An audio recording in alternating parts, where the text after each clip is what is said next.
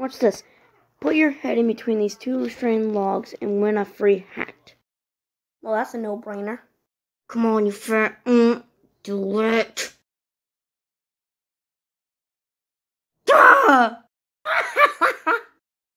Who's laughing now? I got my hat.